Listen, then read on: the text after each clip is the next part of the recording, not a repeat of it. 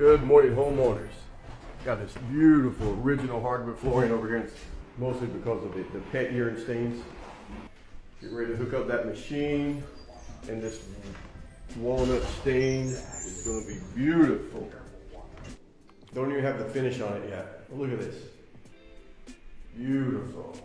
Floor is over 100 years old, and it looks this good. Look at that. It looks this good. That's the difference the finish makes.